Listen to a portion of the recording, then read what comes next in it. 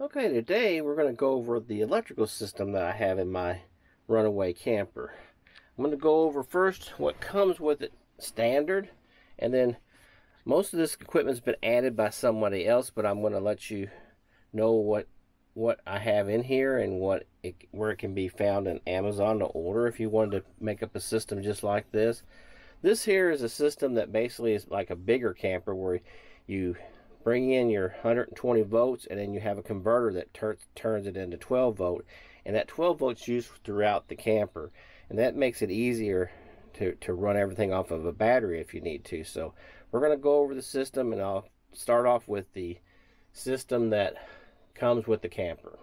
Okay the system that comes with the camper is this setup here where I'll show you the plug. There's a plug on the outside where you plug up a three prong plug and it brings your 120 volt uh, power from your power pole at your campsite into your camper. And uh, once it comes inside of here, it comes in here, and all it does is come up into your, you have a power strip here, and if you've got just the cool camp, that's all you'll have, is just the one power strip. Now if you got the range runner like I do, You'll have another cord that runs back here to the back, and you'll have another power strip here in the back. And you see where I've got the power strip in the back. So that's all you have in normally in your normal setup. And then you have your plug from your air conditioner that comes over and plugs into that power strip. And like I say, it's strictly 120 and you have to run for that power pole. There's no way to run any kind of batteries or anything off of that the way it comes from the factory. So now we're going to go over the system that I have, and I, I really like this system, but I want to explain to you step by step how it all works. So the system that I have added to mine is basically a plug that plugs into the actual 120 that comes with the camper. It comes down here to this, this is considered a converter. What that does is convert your 120 into 12 volt. And this power, I think it's power work, works system is hooked in through the back and basically it runs down into this fuse box and this is a 12 volt fuse box that everything runs off of. And from that 12 volt it runs through a there's a cutoff switch here and uh, it runs it actually runs the 120 volt or you can turn it completely off or you can actually flip it over and run everything off this 12 volt and so what this is, at that point, it has a battery that's set up. And in my case, I've got an 18 amp hour um, lithium battery. I'm not sure in the future if I'm going to go bigger on that or not, but we're going to give this a try and see how this how this performs.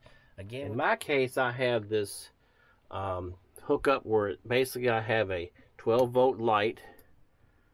It's an LED light that runs across the top, so that runs off of this system.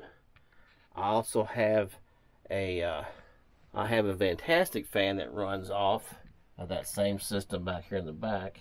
I actually have a variable speed controller on that where you can change that to different speeds. And that helps out a lot when you want to turn it down low at night when you don't want to hear it a lot.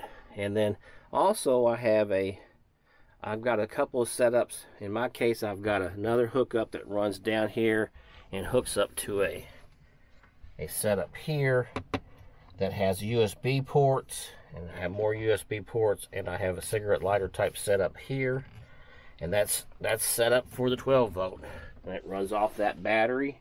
Or if you're running um, if you're running off of shore power and you're you've got your converter on it's converting that power over to that 12 volt. And then you can run that same stuff with that Okay, and then the next thing I have is is an actual inverter, and that's what this little small unit up here is. And this takes the power of the battery, the 12 volt, it, it, it converts it back into 120, and this is the plug that goes over to my actual 120 plug over here, and also have some USBs that run off of that, and that powers up that system and also lets me use this regular 120 TV. I don't have a 12 volt TV in here.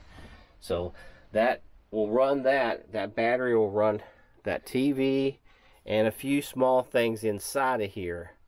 and uh, it doesn't power up this this strip here. It only powers up this little plug right here and that little plug over here on this far side. And it won't run the air conditioner. There's not nearly enough power in that little battery to run the air conditioner. So that's kind of the system that I have here. And like I say, I'm going to list these things you can pick up at Amazon. But this makes it a nice system uh, if you want to go boondocking and just be able to power a few things.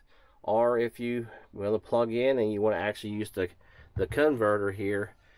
Uh, but the only thing that this here that I'm not sure about how well it works is this actually runs a charge and it can actually charge this but it's kind of uncontrolled. I don't I'm not really sure about how well it controls that. So that's something I'm not sure if I want to use that for charging the battery or not but it can do it if, if you needed to. We just got to keep an eye on it. But uh, that's about all I have on this video. Um, just wanted to show you my system I have here. Like I say, this system was done by the previous owner for the most part. Now, I did add a, a con, uh, controller here. I'll show you, or I added a plug on the outside. And that allows me to plug in my solar on the side, and that plugs in and comes straight in through here and goes straight into my battery. So that solar system will keep that battery charged up, hopefully. It's only 100 watt, but it, I think it's enough that it'll, it'll hopefully take that up if I'm not using too much power. So that's about all I have on this video, and I hope that uh, helps you out if you want to make a quick system. I guess I haven't really added up the cost in this system, and I'll post it here once I go to Amazon and see about roughly what that this system would cost if you were to put it together.